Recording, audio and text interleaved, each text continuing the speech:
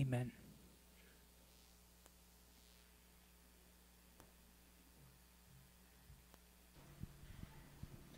Good morning. This morning, we want to spend some time sharing with you about our brothers and sisters in Christ who are struggling. They have asked first for prayer, and if you feel led, to financially support them. What is different about these brothers and sisters is that we do not see them on a Sunday morning, for they are living in other countries. They have either felt God's Holy Spirit prompt them to leave their country and reach lost souls, lost souls in countries hostile to Christianity or they have grown up in a hostile country. They have become a Christian and have a passion for their own people to come to know Christ. Several years ago, our church had Charles Alsheimer's speak at a Big Buck Night outreach at our church. One of his quotes always stuck out to me If you are born in the United States, you have won life's lottery. What an incredible opportunity God has given us growing up here. Others have not had this opportunity. Randy Alcorn wrote a short book called The Treasure Principle. In it, he reminded me that we have all been given, in differing measures, gifts, talents, time, and money. God has intended for these to be used for our basic provisions and to be enjoyed. However, He has also given these to us for the purpose to further His kingdom, for His glory. He has invited us to give these back to Him and has promised eternal treasures. The video you're about to see is from Voice of the Martyrs. Voice of the Martyrs is an organization committed to helping spread the gospel message of Christ by equipping missionaries and local committed Christians with sharing the gospel, providing Bibles, and helping to grow churches, supporting the persecuted by providing food, shelter, and medical needs. This video summarizes a Nigerian family just like families here in this church, they have also have dreams and aspirations, just like we do, and for our children. However, these were shattered by forces opposed to Christianity.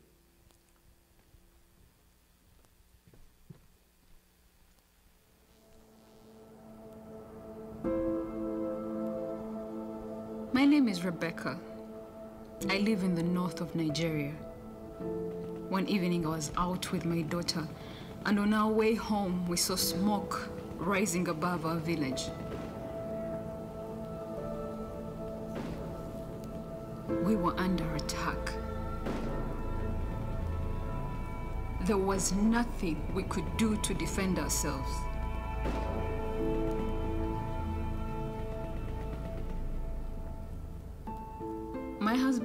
I were married in that village. My wedding day it was the happiest day of my life. Some members of our church gave us a wedding gift. It was a Bible. We read it together every day.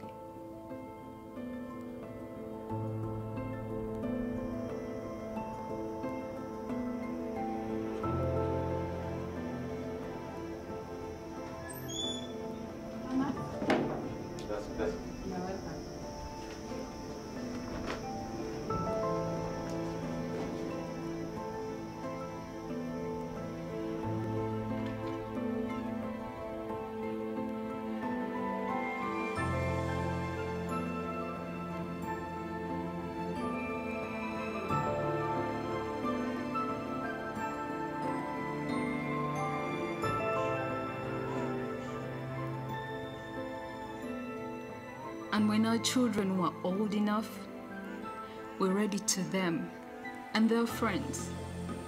Let the little children come to me. Let the little children come to me. And do not forbid them. And do not forbid them. For such is the kingdom of heaven. Such is the kingdom of heaven. Matthew chapter 19. Matthew chapter 19. Verse 14. Verse 14. On the day our village burnt to the ground, my husband and my son were killed in the attack. I was devastated. I mourned for many months.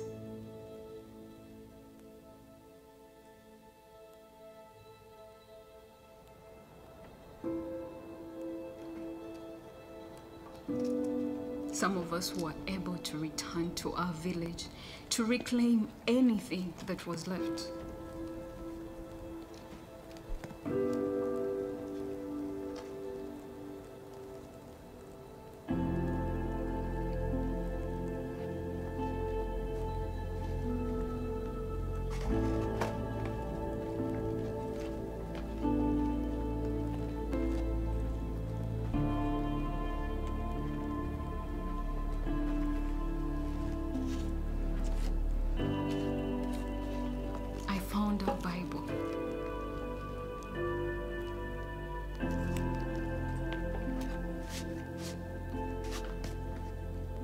Genesis and Revelation were burnt, but the rest was mostly intact. Thank you, Lord. Thank you, Lord.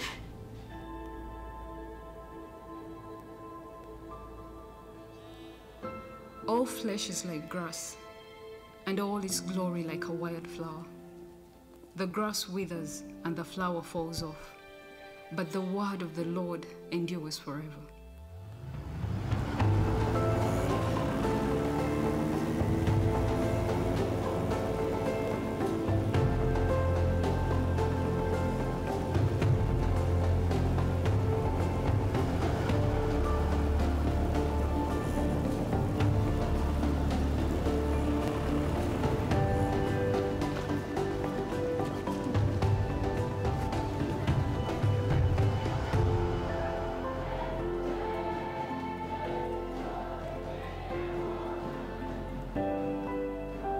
I still use this Bible.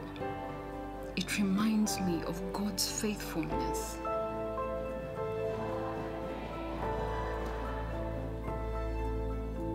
Naked I came from my mother's womb, and naked I shall return there.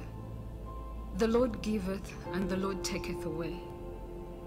Blessed be the name of the Lord.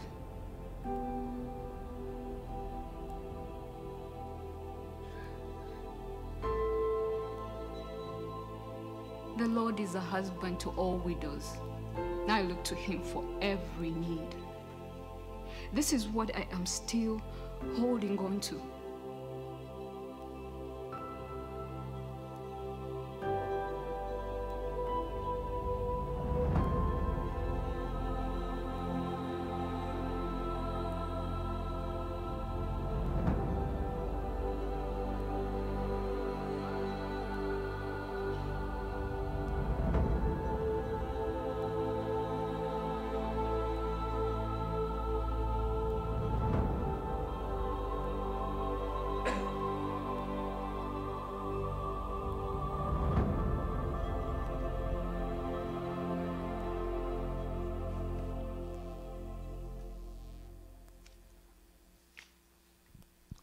On the screen, you will see a map that shows countries hostile to the gospel being spread or countries that outright restrict the spread of the gospel.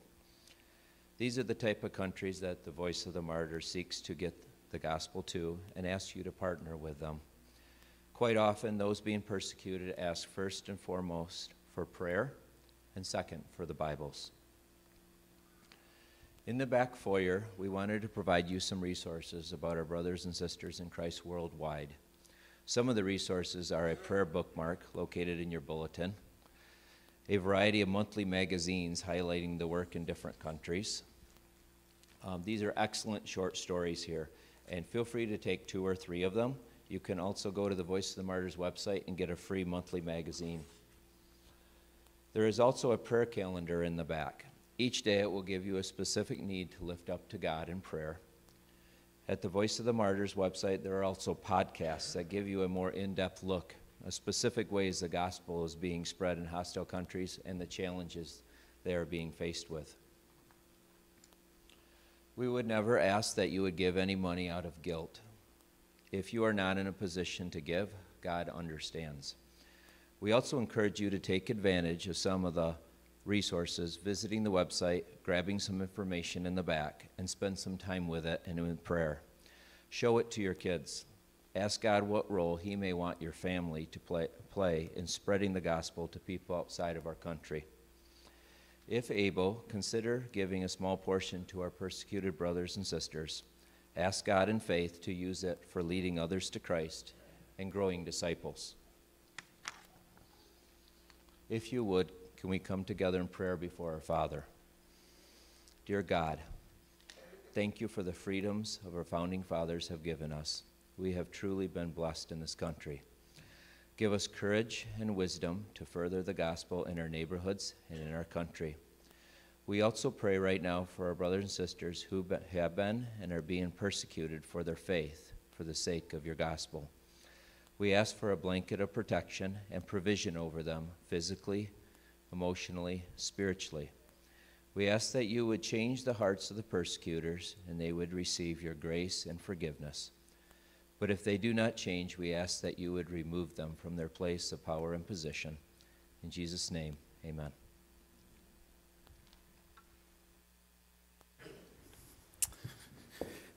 Man, thank you, Clark. Um, I was doing some research this week, and did you know that 360 million Christians in the world right now are facing what Open Doors is considered intense persecution? That's greater than the population of our entire country. Christians around the world are facing intense persecution, and you know uh, that's going to be the topic of our message this morning because um, I, mean, I mean, I wish as your new pastor, I could come and say fuzzy, nice, warm, warm, tingly things to you every Sunday, and you leave here just feeling so great about stuff. But the Bible is replete with this topic. It covers it over and over and over again what it's like to live under a state of persecution for our faith. I would not be faithful to God's word today if we did not topic, tackle heavy topics as they arise and become relevant. And because of what Clark has shown, shared this morning, this is a relevant topic this morning. So we're going to look at a few key points in several biblical texts this morning that are not necessarily going to make us feel all warm and fuzzy inside, but are going to challenge us from God's word, what he has to say about this particular subject. So as we begin, I want to ask you a question. Would you, how, how, would you respond if tomorrow morning you went into work your boss called you into his office and he said, Hey, we're participating in this, this event as a corporation and uh, you need to be a part of it. But you know fully well that going and being participating in that event goes contrary to your Christian faith. Would you be willing to lose your job because you did not participate in something that went against your faith? Or what if uh, you posted a Bible verse on your social media account? And you are notified by your employer that you need to take that down or risk losing your job, what would you do if a government agent showed up at your door and said, You need to take a sensitivity course and re- you need to uh, re- go back on what you said because that's hate speech? What would you do if, God forbid, a government agent would show up at your door and say, You need to, re- you need to recant your faith publicly, you need to sign this document recanting your faith, or we're going to take your home? What if the government decided that you could no longer parent your children because you're trying to raise them according to God's principles and they're opposed to that? What would you do? Here's the thing it's a trick question. Because if you're like me, you're probably sitting there and you're answering that and you're going to go, well, I, God forbid, I hope that never happens, but I would, I would stand firm in my faith. And that's the wrong answer. Because you and me, you and I are sitting here going, I hope that never happens. I don't think it's going to happen. I don't want it to happen, but I think I'll stand true if it, it I'll stand for faith if it does happen. Because here's what's really that's an attitude I actually really want to challenge you this morning from God's word because that's the wrong perspective. Because here's the right perspective. Around the world millions and millions and millions of Christians are being intensely persecuted for their faith in just such a way and they are our heroes. They are the heroes of our faith. Not only that, this is going to be a harsh truth this morning that I want to share with you. And I feel I've, i I, hate to burst your bubble. All right, this is going to hurt just a little bit, it's going to sting just a touch. Because if the history of Christianity is true, if the scriptures are true this morning, if what we know about our faith is true this morning, that experience is the fullness of our faith. And what we are experiencing is something totally different. I'm going to share an illustration with you that is stupid. I'm sorry. I was just thinking about this. This is the I don't I don't know why this week as I was praying about this, this was the illustration that came into my mind, and I am so sorry. I will apologize in advance. I want to introduce you to somebody. This guy's name is uh, Psychrolutes frictus. He's an interesting fish. Go ahead and put that up on the screen. He's an interesting fish he, uh, he, he lives in the ocean at incredible depths of up to 4,000 feet deep near Australia and New Zealand. He uh, experiences at that depth 120 times the atmospheric pressure that we uh, are experiencing right now. God has created this little guy with no bones, few, no scales, and not much for muscle because he doesn't need it at that depth. He floats around and just eats. Uh, at that crushing pressure, it gives him stability, all the stability his body needs. He lives up to 130 years old and has no natural predators. And yet, he's at threat for extinction from deep water fishermen catching them and bringing them to the surface. Uh, this is what he looks like when he's brought to the surface. You know him as the blobfish. He's been consistently voted the ugliest animal on the planet for years. I'm sorry, it's stupid. That's dumb. I don't know. I know what you're thinking right now. You're going, is there like a 90 day return policy on new pastors? Can we send him back and get a refund? Uh, I was just thinking about that because I was like, man, what, a, what an illustration of this is not his, this is not what he was built for. He's not built to be taken out of the pressure. When he comes out of the pressure, he turns into a fat, ugly mess. All right? And I want you to understand something. Our Christianity, how we practice our faith, is kind of the fat, ugly cousin of what most Christians throughout history have experienced. Do you have a fat, ugly cousin? Are you willing to admit that you might be the fat, ugly cousin? Well, I know it's a harsh statement to make, but look, the truth of the matter is our Christian walk and Christianity as a whole thrives under pressure, and that's what I intend to prove to you this morning.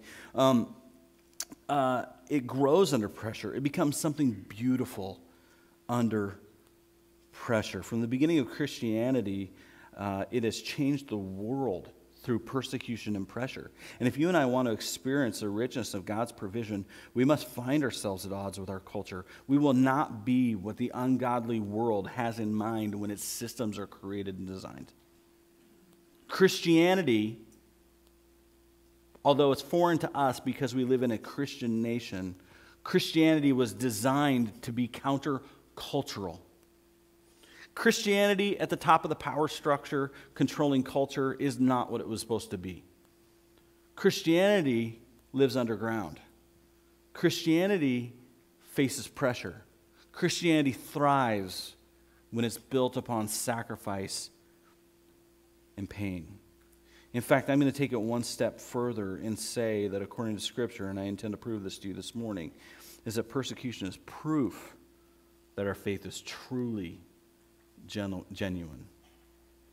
So um, I'm going to be jumping around in scriptures this morning, and I know it's going to be a little hard to keep up, so I apologize for that. But I intend to make four, four main points this morning. The first one is this persecution and oppression are a blessing of Jesus. It says this in Matthew 5:10. Blessed are those who are persecuted for righteousness' sake, for theirs is the kingdom of heaven. This is the words of Jesus in a passage that we commonly refer to as the Beatitudes. The kingdom of heaven, think about this for a second, belongs to the persecuted.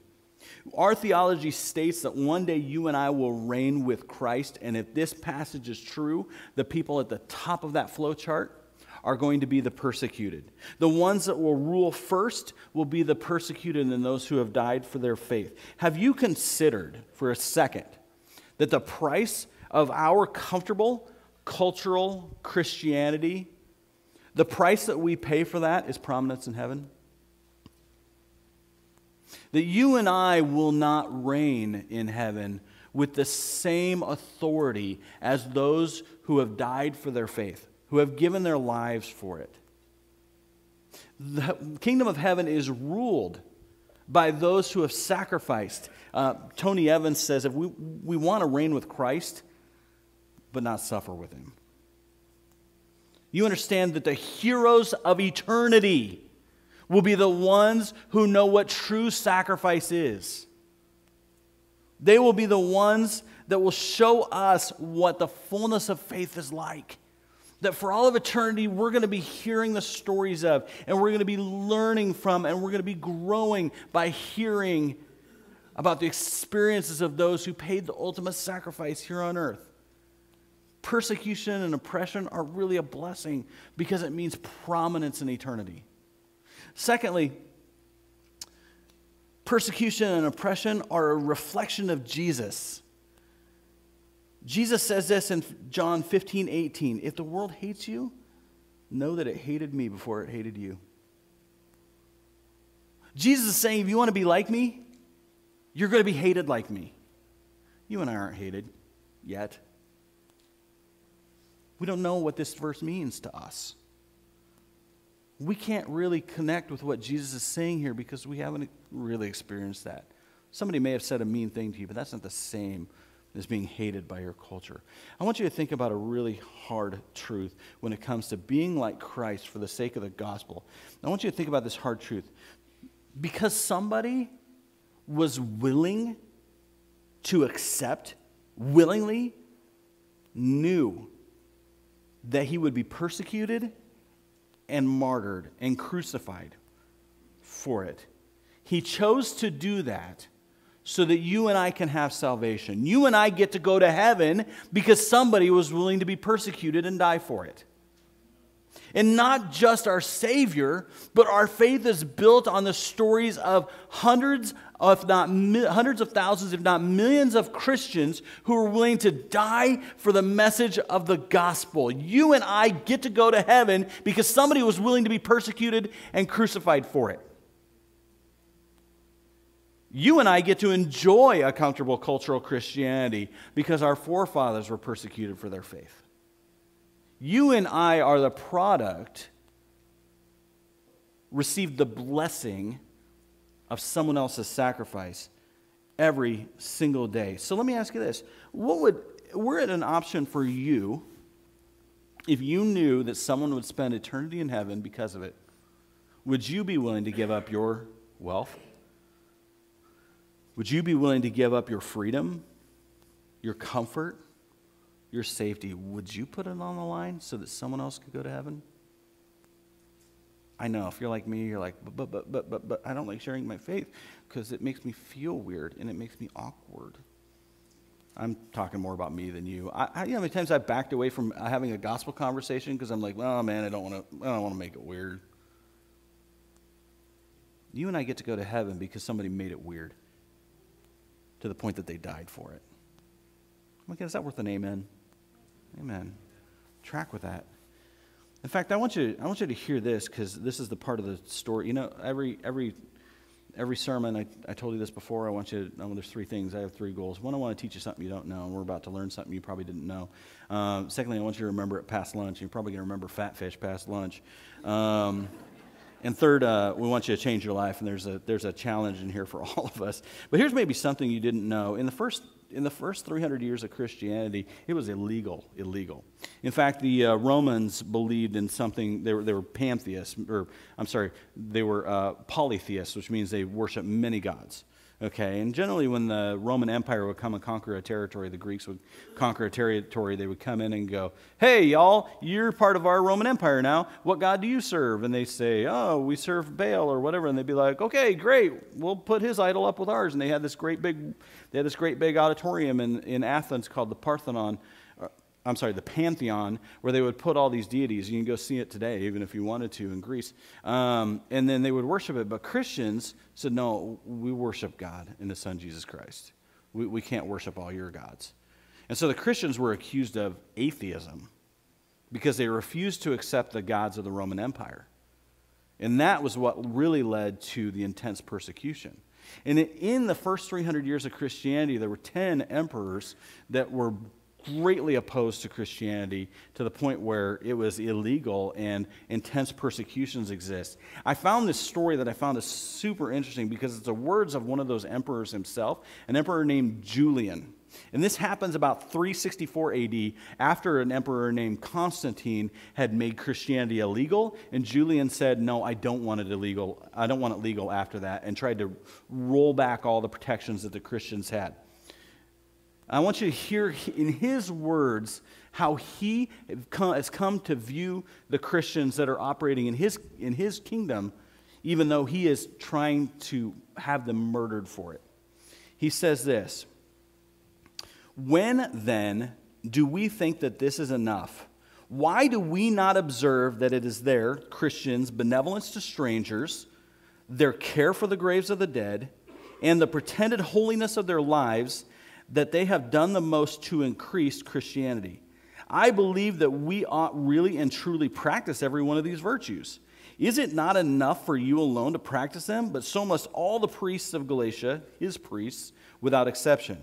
Either shame or persuade them into righteousness, or else remove them from their priestly office. The Emperor Julian was so frustrated that the Christians were being kind to one another, were serving one another, they were being benevolent to one another, they were taking care of each other, they were being who Christ called them to be in his kingdom. And he was so embarrassed that his own priests were not even close to that. And he was so upset that Christianity was gathering all these followers and his religion was falling away that he actually actually forced his own priests to act like Christians or else lose their jobs. That's the impact that the early believers had in the world. He was so frustrated at his attempts at persecution because it actually worked the other direction. As he persecuted more, Christianity thrived more and more people became believers persecution and oppression are a reflection of Jesus. Third, they're not only a reflection, they're a requirement of Jesus. If you follow in 2 Timothy 3 10 to 12, says this But you have followed my teaching, conduct, purpose, faith, patience, and love, along with the persecutions and sufferings that came to me in Antioch, Iconium, and Lystra what persecutions I have endured, and yet the Lord rescued me from all of them. Verse 12, hear this. In fact, all who want to live a godly life in Christ Jesus will be persecuted. I'm going to read that one more time. All who want to live a godly life in Christ Jesus will be persecuted. Persecution is required for us to be godly. What does that say about us? Well, I mean, it's saying that there's a part of our growth as believers that we're stunted. We don't have that experience.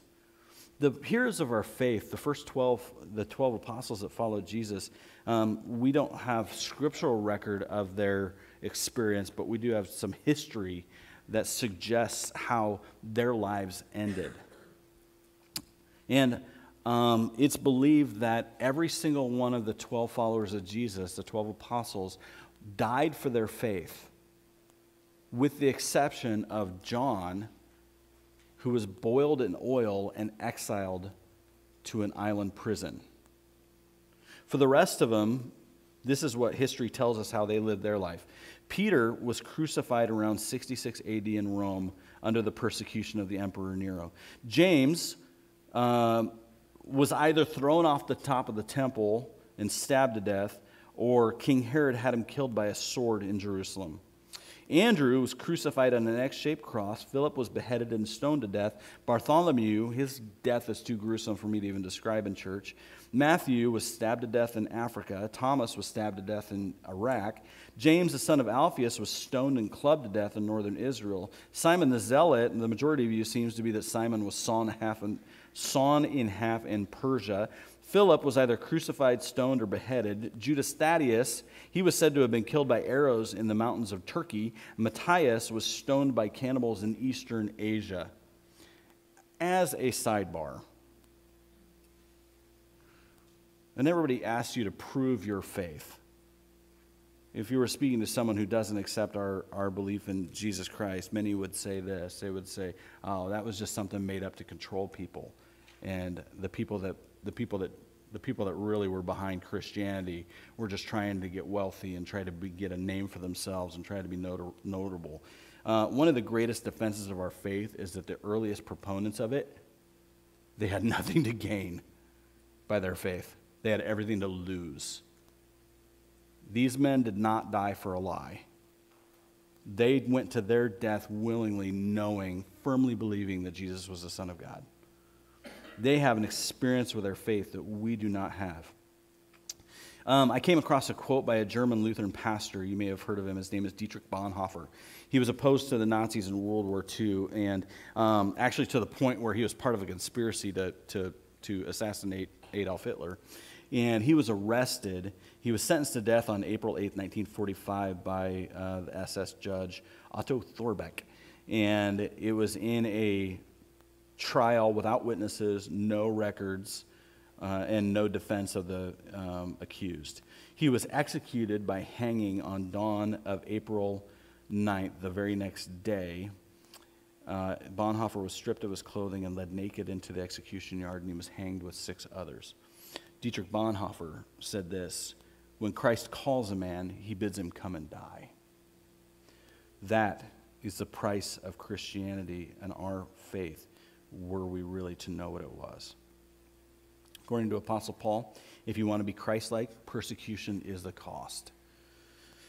Do you think that maybe a major part of our Christian walk is stunted because we haven't experienced oppression in any way? Is our discipleship and growth in our faith maybe somehow hindered by our convenient, comfortable lives? Finally, oppression and persecution are a benchmark of Jesus. Um, most of you know this. I rode an ambulance for four years, five years, and um, there was one particular time where I found myself alone in the back with a patient. Um, and I'm just an EMT. You know, typically we have paramedics, but we didn't have a paramedic available that night. We picked up a lady who, um, goodness, I forget what her chief complaint was. Um, but I was doing a uh, on the way into the hospital. I was doing a assessment on her. And how many of you are in the medical field? Okay, so you guys know what you know what vitals are. You know, you want, definitely want to assess their breathing rate, their heart rate, their blood pressure. Maybe take a glucose. Maybe if you're really cool, you put them on a four lead or a 12 lead and see their heart rhythm. Um, she was just in. I'm just an EMT, so I I, I just take blood pressure. That's all I do, and, and heart rate. I took her heart rate as we were having a conversation. I was doing her assessment. Her heart rate was on the. I actually had a finger monitor taking her pulse ox, and it came up 38. And I know that doesn't mean much to most of you, but uh, those of us in the healthcare field, someone with a heart rate of 38 is in a, in a condition called bradycardia, which means their heart rate is dangerously low. This scared little EMT CJ beyond belief. I'm like, oh my goodness, uh, I got to call somebody with medication quick she needs a shot of something, right? So I'm kind of freaking out, ready, to call medical control. And I see she's just sitting there like, like that was no big deal. And I, I, I, put the, I put the phone down and went, Is that normal for you? Because it's really alarming to me. And she goes, No, that's normal for me. And so that was her baseline. You know, persecuted Christianity is alarming to us we go, that's not normal. We don't want to be a part of that. That's scary. But do you understand that for most Christians, that's baseline? That's where we start. Persecution and oppression are a benchmark of Jesus. Now, I'm going to read you uh, out of 1 Peter 4. I'm going to start reading, or I'm just going to read verse 12. But I want you to realize this as Peter writes this, this is two years before Rome catches fire the Emperor Nero, I mean, as the story goes, the Emperor Nero set the fire himself, probably, and played his fiddle while Rome burned. We don't know if that's true or not, but we do know one thing was true that he blamed Christians for starting that fire. So, two years before this, it is also well known that Nero was having garden parties where he was lighting his garden parties by covering Christians in oil and setting them on fire. And Peter says this Dear friends, don't be surprised when the fiery ordeal comes among you to test you. And I know we would like to think when he says fiery ordeal that that's like refining gold by fire. No, what he means is don't be surprised when you get stuck on a post and set on fire by a pagan king. Don't be surprised when that happens. Are you catching the weight of that? Don't, don't be surprised when Nero arrests you and sets you on fire. I mean, as, as if history's true, he did capture Peter and had him crucified, and Peter, Peter demanded to be crucified upside down because he didn't think he was worthy to be executed the same way Jesus was executed. Dear friends, don't be surprised when the fire, fiery ordeal comes among you to test you, as if this is such, something unusual were happening to you. Again, we read that and we go, I mean, if you read that, if you were just doing your devotions and you read that, you would think that was a cute statement of Peter going, No, don't be surprised when you have a rough day and that's coming to test you. That's, that's, that's the Lord testing your faith. Don't be surprised as if something's unusual. Just to be surprised. Don't be surprised when something rough. It's not what he's saying. Don't be surprised when a pagan king sets you on fire to test you to see if you'll recant of your faith. Do you get it? Do you understand how an understanding of what persecuted Christianity totally changes? Even how we read Scripture. So, Peter says, don't be surprised when it happens. It's supposed to be like that. So, just to recap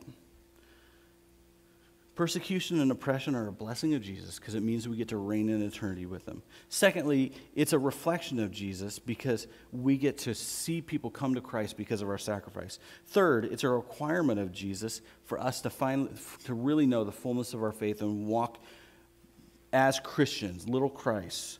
And then fourthly, it's a benchmark of Jesus because this is a standard of what Christianity has always been meant to be. So I'll ask you again if your faith is not under pressure, if there's no cost for us to call ourselves Christians, how do we know it's real? You know what, you know what something's worth? What you're willing to pay for it. That's what something's worth, is what you're willing to pay for it. How do we know if our faith is worth anything?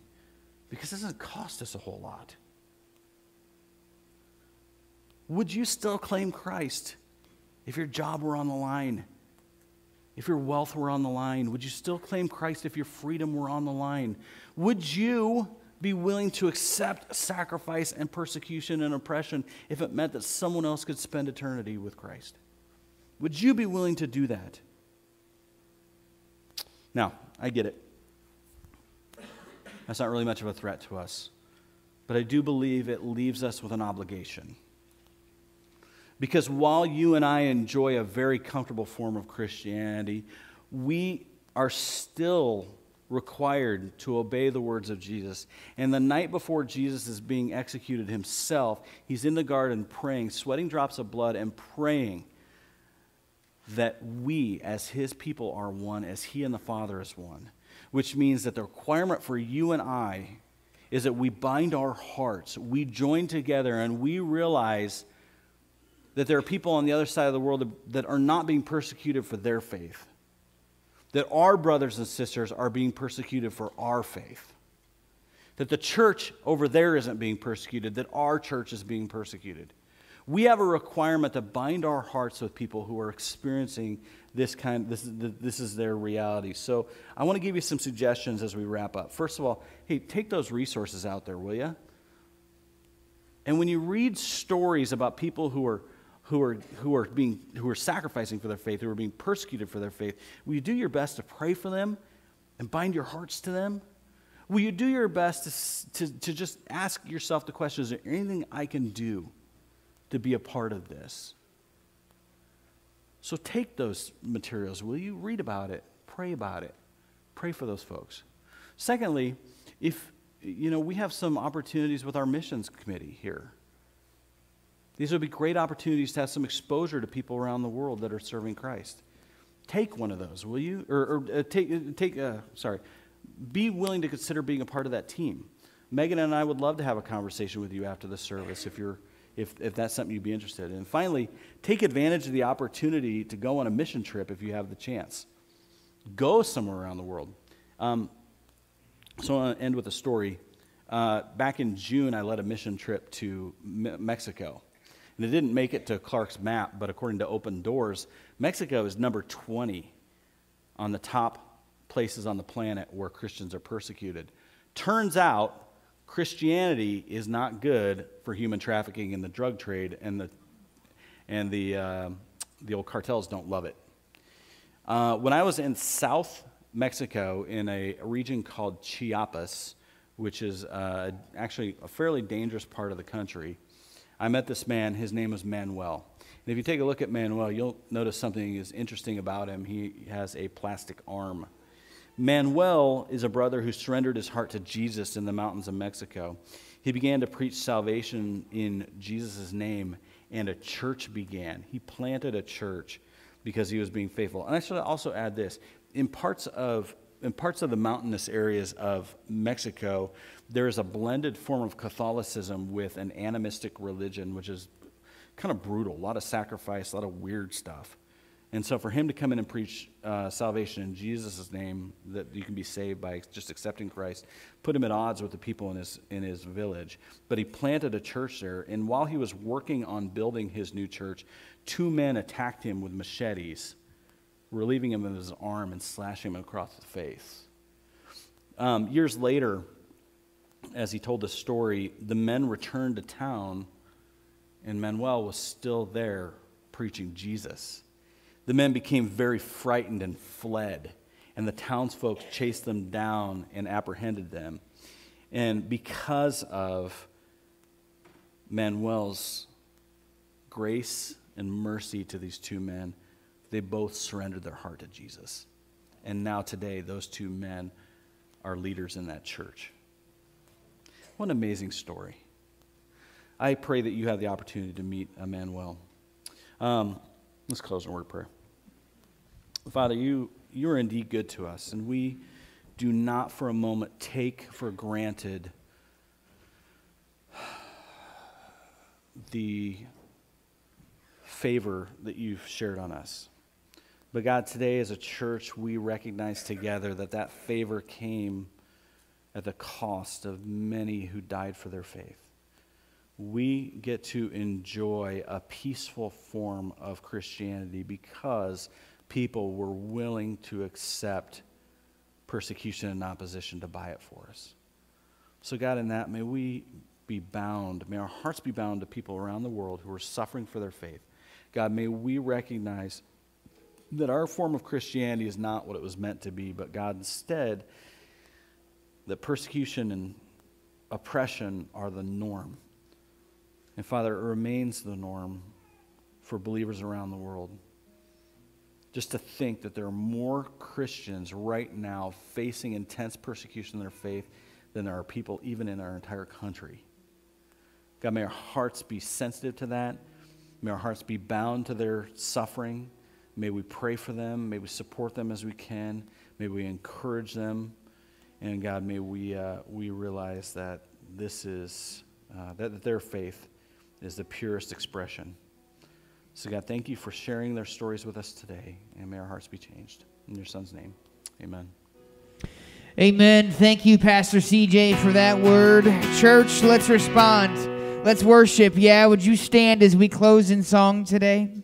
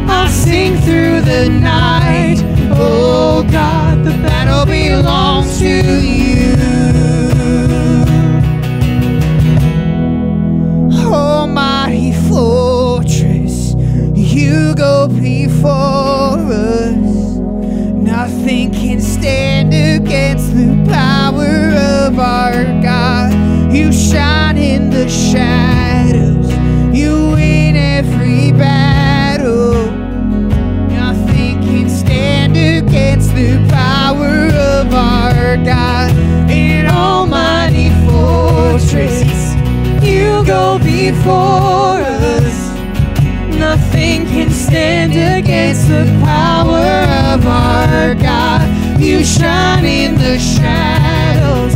You win every battle. Nothing can stand against the power of our God.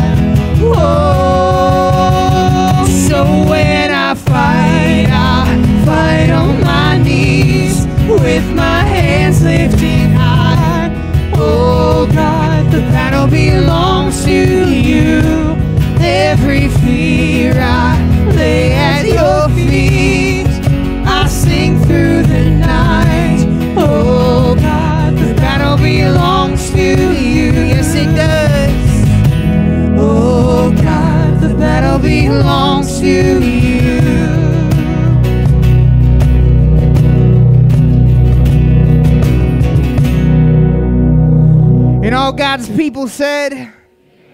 Amen indeed. God bless all of you. It was so good to worship with you today. We look forward to seeing you again very soon.